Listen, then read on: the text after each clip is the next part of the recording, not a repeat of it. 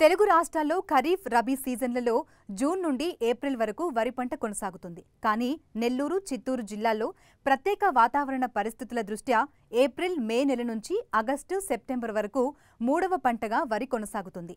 దీన్ని ఎడగారు లేదా కత్తెర వరి అంటారు.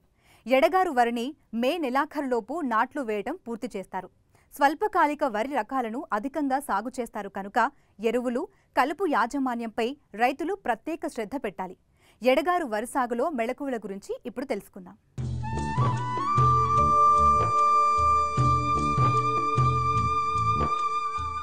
నెల్లూరు జిల్లాలో ప్రస్తుతం ఎడగారు వరి నాట్లు ముమ్మరంగా జరుగుతున్నాయి. ఈ ప్రాంతంలో మే నెలాఖరులోపు నాట్లు పూర్తి చేస్తారు. నూటికి తొంభై శాతం మంది రైతులు నూట ఐదు నుంచి నూట ఇరవై రోజుల్లోపు పంట పూర్తయ్యే వరి రకాలను ఎడగారులో సాగు చేస్తున్నారు. స్వల్పకాలిక రకాలు కావడం వల్ల వీటిలో పిలకల శాతం తక్కువగా ఉంటుంది. కనుక నాట్లు వేసేటప్పుడు చదరపు మీటరుకు అరవై ఆరు కుదుళ్ళు ఉండే విధంగా రైతులు జాగ్రత్త వహించాలి. మొక్కల సంఖ్య ఎక్కువగా ఉన్నప్పుడు వరి దుబ్బు చేత తక్కువున్నా దీని ప్రభావం దిగుబడిపై పడదు. ఎడగారులో తీవ్రమైన ఎండల మధ్య పంట పెరుగుదల ఉంటుంది. కనుక కలుపు నివారణ పోషకాల యాజమాన్యంలో రైతులు తగిన మెళకువలు పాటించాలని సూచిస్తున్నారు నెల్లూరు వరి పరిశోధన స్థానం శాస్త్రవేత్త డాక్టర్ యు వినీత. నాటు పెట్టిన వెంటనే ముఖ్యంగా మొదట్లో మూడు నుంచి ఐదు రోజులప్పుడు మనకు కలుపు మొలవకుండా పొలంలో ఈ ప్రీ ఎమర్జెన్సీ హెర్బిసైడ్స్ అంటాము. వీటిలో ముఖ్యంగా మనకి ఆక్సైడ్ ఐఆర్జిల్ అనే కలుపు మందుని ముప్పై ఐదు నుంచి నలభై గ్రాములు కానీ లేదా ప్రెటిలాక్లోర్ అనే కలుపు మందుని ఐదు వందల నుంచి ఆరు వందల మిల్లీలు కానీ లేదంటే బ్యూటాక్లోర్ అనే కలుపు మందుని ఒక లీటర్ కానీ తర్వాత ఈ మధ్యకాలంలో మనకి బెన్సల్ఫ్యూరాన్ మిథైల్ ప్లస్ ప్రెటిలాక్లోర్ కాంబినేషన్లో లోన్డాక్స్ గుళికలు కూడా వచ్చున్నాయి.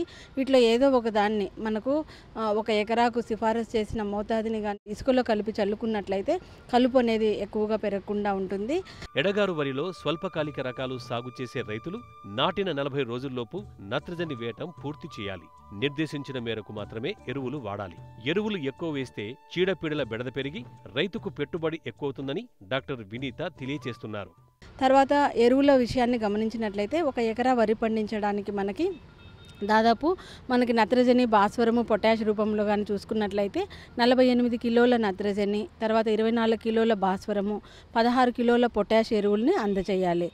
అంతేకాకుండా కాంప్లెక్స్ ఎరువులు అంటే ఏ ఎరువులో అయితే మనకు నత్రజని భాస్వరము పొటాష్ అన్నీ కలిపి ఉంటాయో వాటిని మనం కాంప్లెక్స్ అంటాము. సో రైతులు చాలా వరకు ఈ కాంప్లెక్స్ ఎరువులను వేస్తూ ఉంటారు.